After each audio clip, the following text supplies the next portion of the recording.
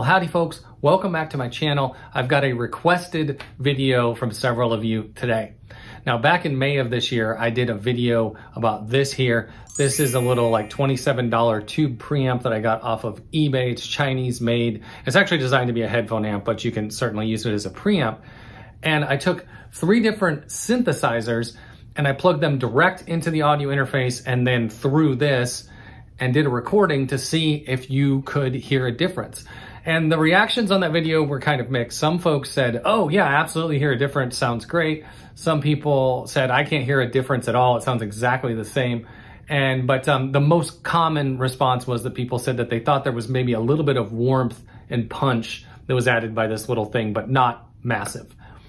So another question that came up a lot in the comments is people said, well, now that you've demonstrated the transparency, can you actually use it to color tone and push a signal into overdrive? And I don't know, but let's try that today. Okay, let's start with the stylophone here. And for starters, I've got the preamp set about unity gain. Let's go ahead and play something.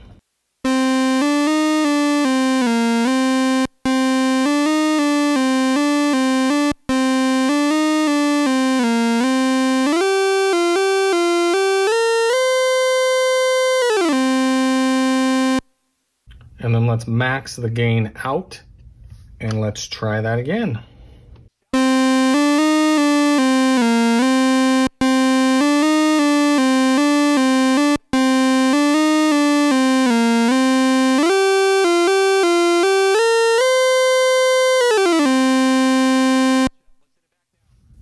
Okay, and let's try the Kaossilator next. So we've got it at unity gain.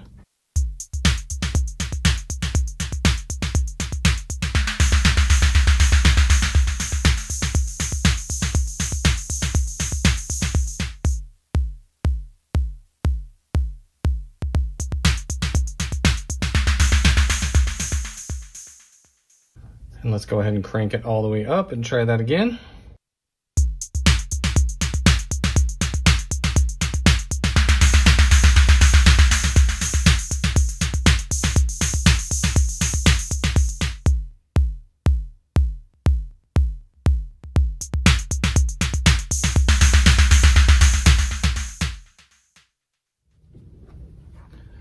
Okay, so again, we'll start with unity gain.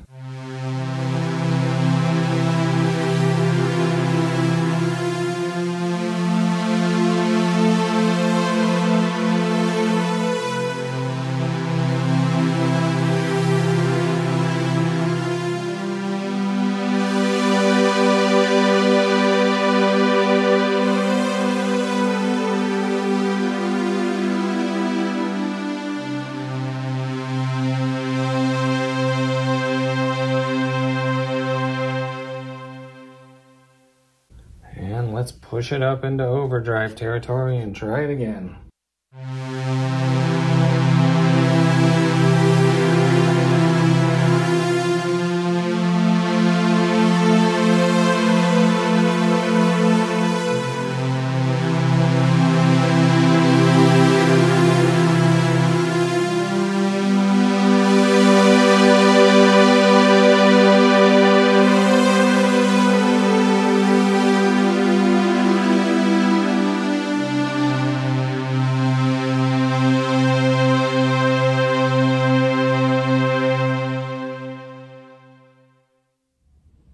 Okay, and just for fun, I created this here patch on the modular synthesizer, and let's feed that through the little tube preamp here.